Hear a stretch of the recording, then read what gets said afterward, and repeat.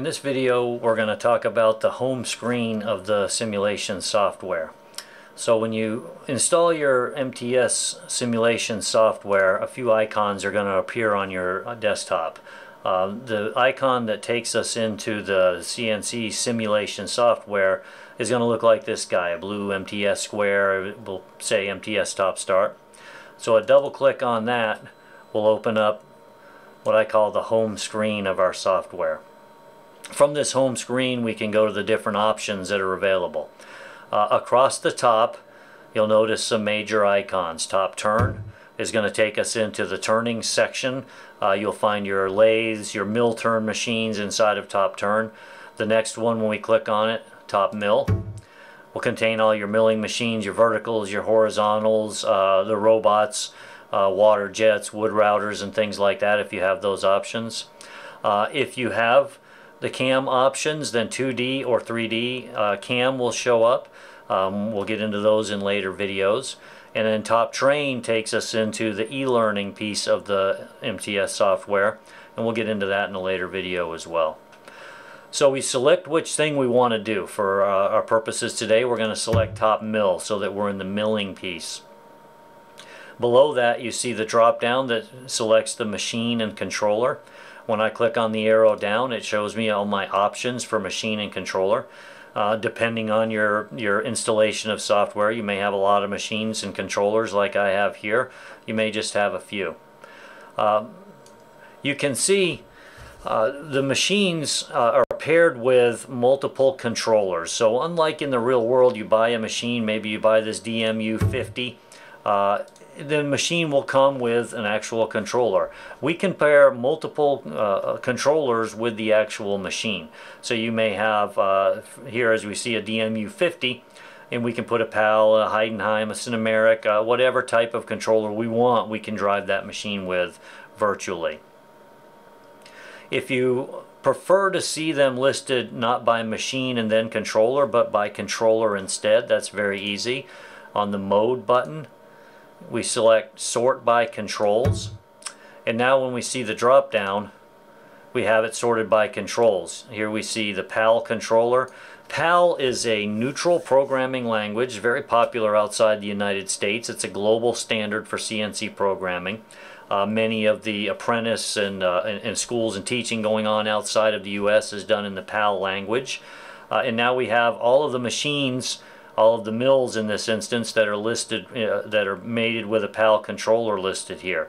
So if I know, for instance, I want to work with a FANUC controller, I can scroll to my FANUC controllers and then find the machine that I'm looking for. In this case, let's see, um, OI Mate uh, MTAD compact drill. I can select that machine with the FANUC controller on that machine. So I'm going to go back to sorting by machines. I'm going to click my drop down and I'm going to go find the Haas VF2 fortunately they're in alphabetical order. Haas VF2SS with a UTC controller. Now the UTC controller uh, we call it the Universal Training Controller. Uh, and that controller uh, is based off from the FANUC language. So if you know UTC you know FANUC uh, FANUC, however, doesn't have some of the different options that other languages have, such as pocketing routines, circular and, and odd-shaped pocketing routines, and some of the other um, routines that um, the Siemens-based controllers and so forth have. So the UTC is a good neutral controller to program in, and it gives you a lot of options that you wouldn't have in just one specific programming language. Or if you're a, an industry user, uh, you have a Haas machine on your shop floor and you want to work in the Haas language, then select the Haas controller. After I've selected the machine, I notice that there's some information about that machine on the on the page. Uh, if I select information, then it shows me, well, it's a milling machine, we know that, but it's also a three-axis machine. It has X, Y, and Z axis. It has 24 positions and it's an SK40 or we may commonly call that a CAT 40 machine. Remember that in the simulation software there may be different types of interface or different types of tool norm. uh, we can put um, a Capto spindle on a machine. We can put a BT spindle on a machine, uh, a VDI spindle. So there are different options for spindle. So make sure that you have the machine and the spindle combination that you're looking for. If you've created a unique tool or tooling combination inside of the CAT 40 or SK 40 tool norm and you select a machine that's for instance a BT machine, you may not find that tool because it's not in that tool norm. It's not in that library of tools. If I select the drop down so that the drop down is now the active thing and I use my arrow up or arrow down keys on my keyboard, I can now scroll through the different machine and controller combinations. So if it's a, a little bit difficult for me to look at all those words and all those all that text if I just want to scroll through and look at the different machine combinations then I can just use my arrow key to do that to show me those different machine combinations and when I see the one that I'm looking for I can select that one here on this particular machine, we see it's telling us it has uh, X, Y, Z, A, and C axis. So this is a five axis machine. It has 40 positions and it's capable of accepting multiple tool norms in its spindle. CAT 40, 50, HSK 63, and HSK 100. So this is a pretty versatile machine. So we're going to go back to our Haas controlled machine again. Select our UTC 3-axis Haas machine. And now I'm going to select the Programs tab. And when I select the Programs tab, that shows me the programs that have been in, uh, simulated inside of this machine. So here we've got several programs. If I wanted to go and simulate the uh, MTS mill part, I would just select that MTS mill part and now I can do different things with it. I like to caution people about double clicking. You can double click this. If I double click it, it takes me directly into the simulation environment. And now I'm in the simulation environment simulating that program. But in a lot of cases, not only in the MTS software, but in other softwares, uh, double clicking uh, where a single click is required will do the thing that you intend to do and then click on something behind it and get you in trouble in time. So I always caution people, if it's a double click activity, double click it, but if it's not, I like to select the program and then select simulator if I want to go into the simulation environment. A lot of us are double clickers and sometimes that's not necessarily a good thing.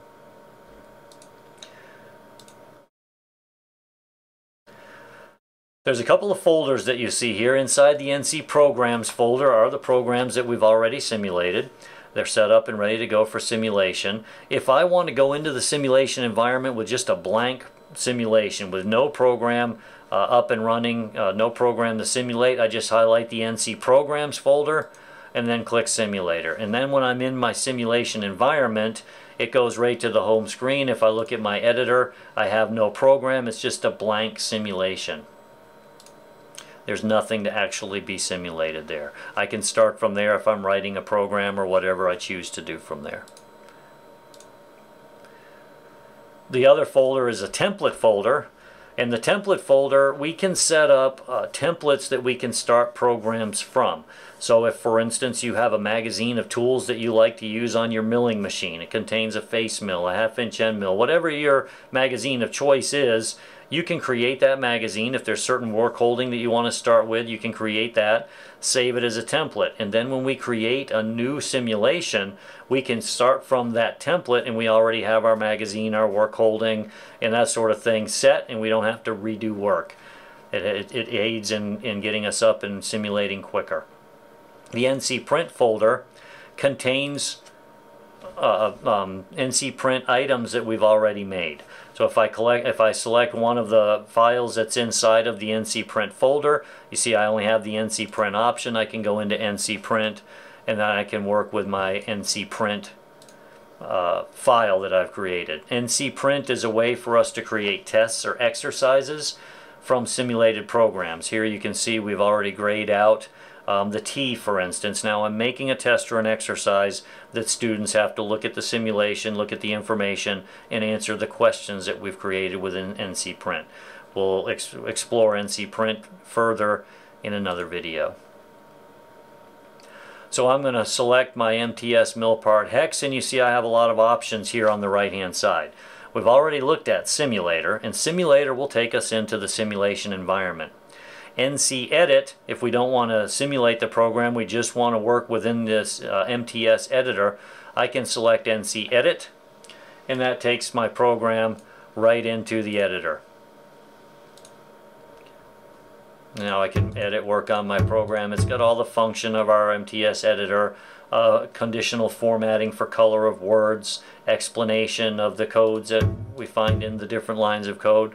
So uh, the NC Edit button will take us right into the editor. We're not in the simulation environment, we're just seeing the program in an editor. The post processor, it's very powerful.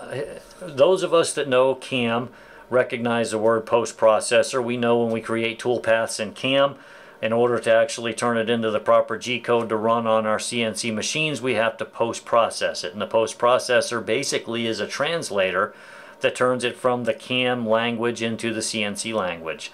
The post processor in the MTS software is the same, but a little bit different in that the post processor allows us to take one controller language and translate it into another.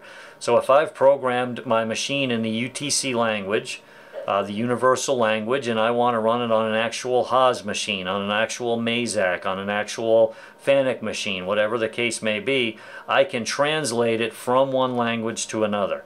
If I have a program that was written in the Siemens language, one of the Siemens language, and we want to run it on a Fanuc machine, we can post-process it or translate it into the language of the machine that we want. Transmission, if I want to uh, remember the days of DNC, if I want to transmit that program and put it directly onto my CNC machine, uh, within our simulation software, we have the ability to do that. We can set the port baud rate, parity, things like that in order to communicate directly with our controller and place the program directly onto our CNC machine without the need to go into a different piece of software to do that. NC setup takes us into the setup of the simulation environment. So again, I select the program and I select NC setup and now I'm